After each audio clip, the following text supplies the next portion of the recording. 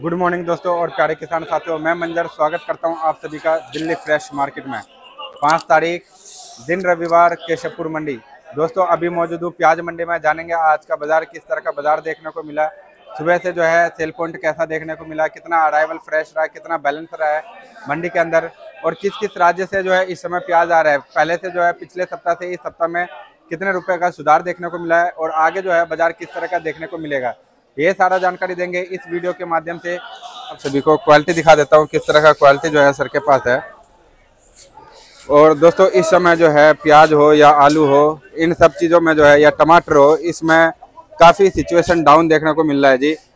काफ़ी दिन हो गया रेट जो है एक जैसा ही देखने को मिल रहा है। उछालेंगे आज का माहौल जो अब जो है कंटिन्यू बाज़ार जो है उछाल की तरफ़ रहेगा या फिर जो है स्टेबल रहेगा या फिर डाउन रहेगा, ये सारा जानकारी लेते हैं सर से।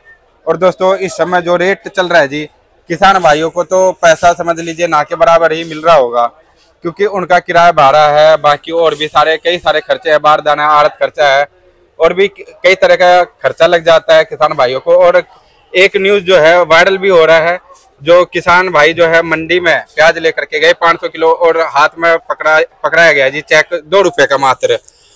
और उसमें जो है किसान भाई का लागत और भी जो है कई सारे खर्चे, वो कहाँ गया, पता ही नहीं चला। तो इस तरह का माहौल रहेगा। तो किसान भाई, जो जितने भी किसान भाई है, ये तो मायूस हो जाएँगे जी। तो इसके लिए जो है किसान को थोड़ा सख्त कदम उठाना चाहिए, जिनसे जो है या फिर एक्सपोर्ट कराए या कुछ भी कराए, लेकिन किसान भाइयों को जो है दो पैसा मिले लागत से ऊपर। हाँ जी, नमस्कार सर जी। नमस्कार सर। सर जी आज का केशवपुर मंडी का बाज़ार बताओ जी कैसा रहा माहौल? कितना अराइवल रहा? पहले से कुछ अराइवल कम हुआ है या ज़्यादा हुआ है? कितना फ्रेश है कितना बैलेंस है जी? सर जो केशवपुर मंडी में ताजी अरावल मानो आप नौ गाड़ी की। और अच्छी बात यह है कि इस टाइम बैलेंस कुछ ज़्यादा खास चल नहीं रहा। जो ताजी अराइवल आ रही है वो क्लियर चल रही है। ग्राहक ठीक है इस टाइम तो बैलेंस कुछ ज़्यादा रख नहीं रहा मंडी के अंदर इस टाइम अच्छा जी। बाकी जो बाजारों की बात करें सर तो जैसे ये जो क्वालिटी पलटी हुई है ये पूना बेल्ट के माल है। हाँ जी। ये जो बाज़ार खुले हैं इनके तेरह रुपए से लेकर सोलह रुपए किलो। अच्छा जी तेरह से लेकर के सोलह रुपए। सोलह रुपए किलो। मतलब अब जो है बाज़ार धीरे धीरे सुधर रहा है जी। सर उसके दो कारण है ना। एक तो मंडी के अंदर जो बैलेंस है वो क्लियर हो गया। हाँ जी। दिक्कत करता है बैलेंस। हाँ जी। तो बैलेंस सिस्टम कई दिन से आज चार पाँच लगभग हफ़्ता ही हो गया। तो बैलेंस मंडी के अंदर है नहीं।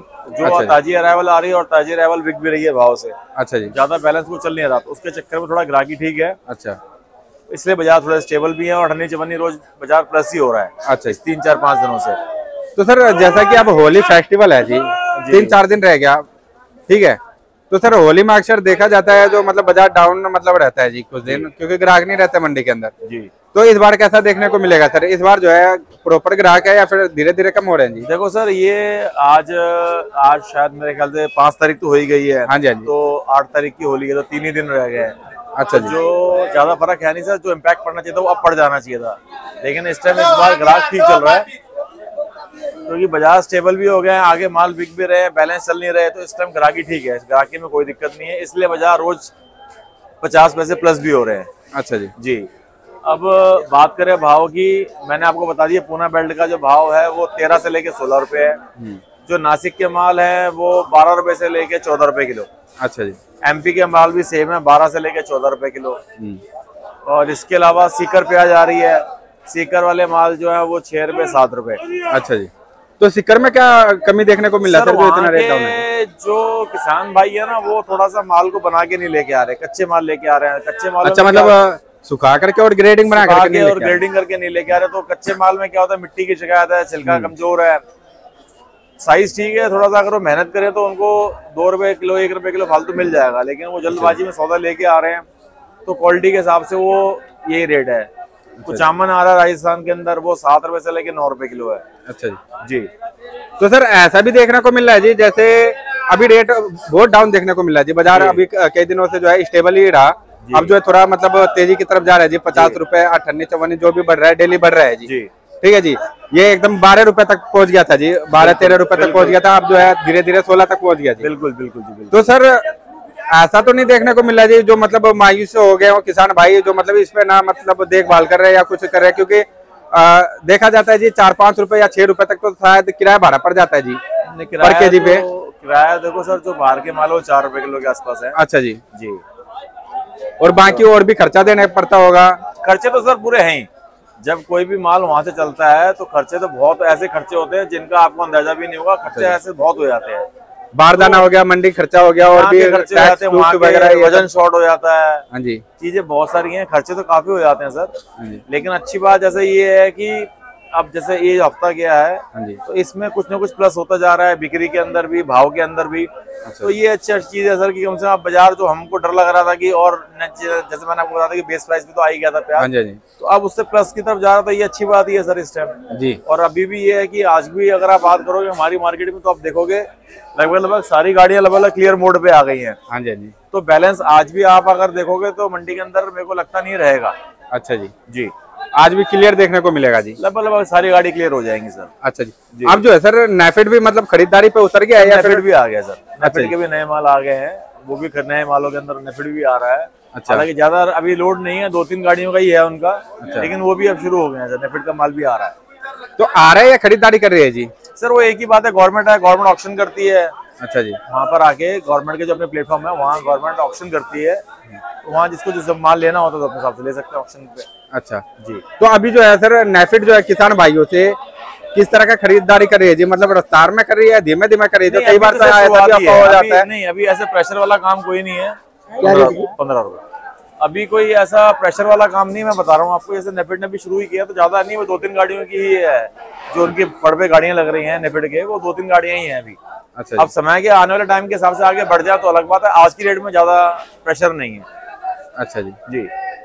और सर, अभी एक वीडियो चल रहा है जी, जो मतलब किसान भाई मंडी में माल लेकर के गए, अपना 500 किलो शायद लेकर के गए थे। उनको जो है बार दाना वगैरह, आड़त खर्चा हाँ और भी कई सारे जो है, टैक्स टूक्स लगा करके उनके बेचारे के हाथ में दो रुपए आए मात्र। सर, देखिए, ये तो जो चीज़ें है ना, अब इसका तो मैं कुछ भी नहीं कह पाऊँगा कारण ये है कि ये तो उस किसान भाई को या उस मार्केट में जहाँ वो गए थे, वहाँ पर जो और लोग हैं, वहाँ उनको बात करनी चाहिए, क्या है, क्या नहीं है, अब वो तो समझना पड़ेगा।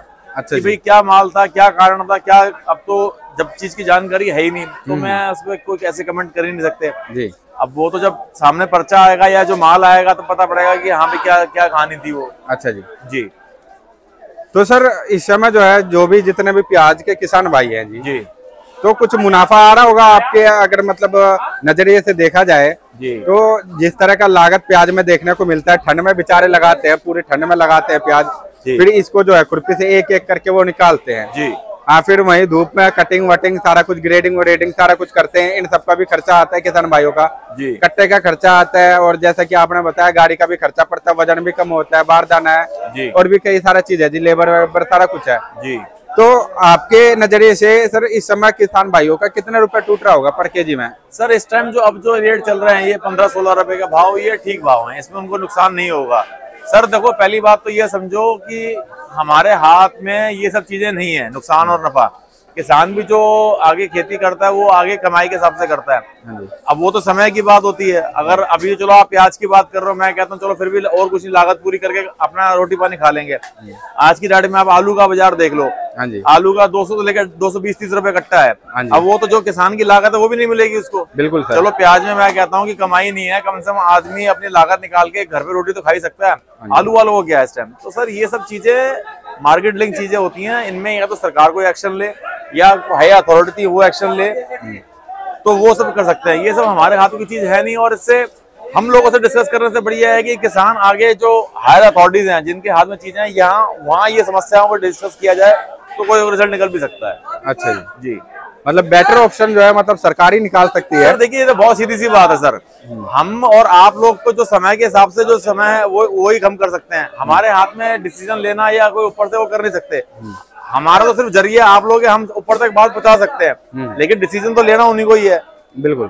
तो सर ये सब चीज़ें तो आगे उनको ऊपर वालों को समझनी चाहिए कि भाई नीचे जो ज़मीन पे आदमी मेहनत कर रहा है किसान मेहनत कर रहा है कि आखिर वो घर क्या ले जा रहा है ये तो उनको समझना चाहिए जो इस टाइम करंट सरकारें हैं। जी जी। जी। थोड़ा गवर्नमेंट को भी जो है मंडियों के ऊपर नज़र रखना चाहिए जो जितने भी किसान भाई आ रहे हैं उनको मुनाफा हो रहा है कि नहीं हो रहा है? एक आध जैसे हफ़्ते में या पंद्रह दिन में थोड़ा सर्वे रखना चाहिए। पूरा सर्वे होना चाहिए सर। जब तेज़ी भी आप सर्वे रख सकते हो कि हाँ भाई तेज़ी हो रही है हाँ तेज़ी हो रही है किसान तो जब मद्दा हो रहा तो तब भी तो सर्वे होना बिल्कुल बिल्कुल राइट बात बोला जी आपने। जब तेज़ी में अगर सर्वे कर सकते हो तो मंदाई में क्यों नहीं? क्यों नहीं हो सकता जी। जी।